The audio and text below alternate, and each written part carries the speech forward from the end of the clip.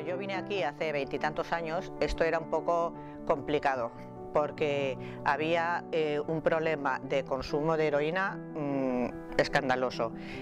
recuerdo que el médico que estaba entonces me, confesó que habían censados como ciento y pico mm, heroinómanos. Entonces, claro, esto era una mm, muy explosivo, una situación muy explosiva. Gracias a Dios, con el tiempo todo ha mejorado, el barrio está infinitamente mejor y entonces eh, ahora mismo es un barrio multicultural porque hay de todo, hay gitanos, hay payos, hay emigrantes. Entonces a mí me parece esta especie de tutti frutti que me parece muy enriquecedor y muy positivo. Fue mi primer contacto con el pueblo gitano y entonces me cautivó porque me pareció fascinante tener la posibilidad de conocer una cultura diferente con unos valores que a veces no son tan diferentes como nos creemos, pero con otra forma de, plantear las costumbres, incluso otra forma de hablar. Me sirvió para aprender mucho eh, y me sirvió también para darme cuenta de que la mayor parte de los estereotipos que circulan sobre ellos no se adecúan a la realidad.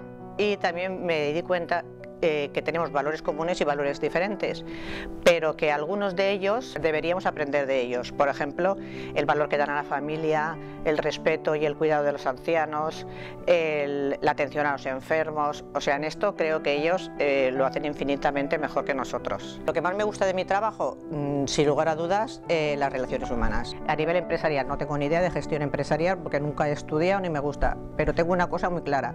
Si quieres que una empresa funcione bien, haz feliz a tus trabajadores. Y aquí somos todas mujeres y estamos encantadas de la vida. Yo conocí el Opus Dei en el colegio, yo fui al colegio Guadalaviar, eh, la verdad es que pasé una escolarización en el colegio, vamos, estupendísima, pero cuando salí del colegio la verdad es que estuve rebotada una temporada, una temporada de unos cuantos años, pero yo tenía ahí esa eh, inquietud. Eh, durante ese recorrido me casé con mi marido y luego tuve dos hijas. Y ahí fue cuando la cosa empezó a cambiar porque cuando me planteé a qué colegio quería llevar a mis hijas, al final mm, pensé que del único sitio del que realmente me fiaba de dejar a mis adoradas niñas era en Guadalaviar. Entonces empecé otra vez a, a no ver ya con tan malos ojos el espíritu de la obra. Y al poco tiempo yo me hice supernumeraria. ¿Cómo me ayuda el espíritu del Opus Dei en el trabajo diario? Pues en varios campos. En el campo, desde luego, de, de, mi paz interior, cada vez que tengo aquí alguna situación difícil, que alguna hay de vez en cuando, cuando alguno sale de la cárcel y así, eh, me da muchísima paz.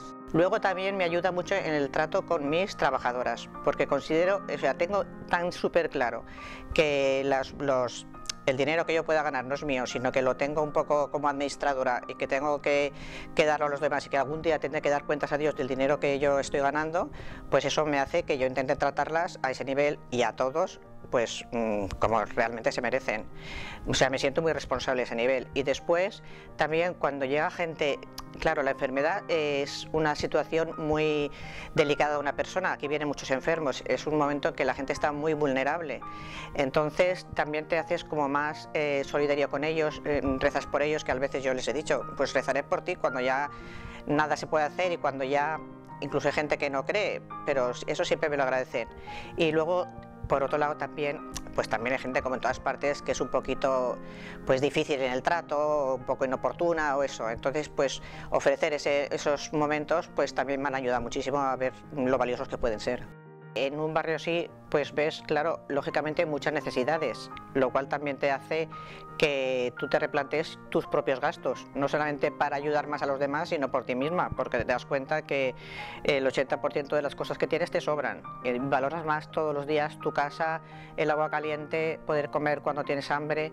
Y entonces esto hace también que cuando viene una, viene una persona enferma que a lo mejor tiene que pagar las medicinas y no dispone de recursos en ese momento, pues no es tan importante, es mucho más importante que la persona se se lleve la medicación. Y esto además es una cosa que aunque no, no era lo que yo pretendía, me he dado cuenta de que, que esto siempre vuelve a ti. O sea, la gente luego está, eh, bueno, mm, te ofrece a cambio un, cariño que eso no tiene precio y si alguna vez no son los que no pueden pagar, sino que es necesario que se le ayude, pues se le ayuda y tan ricamente y, y llego a fin de mes igual, afortunadamente.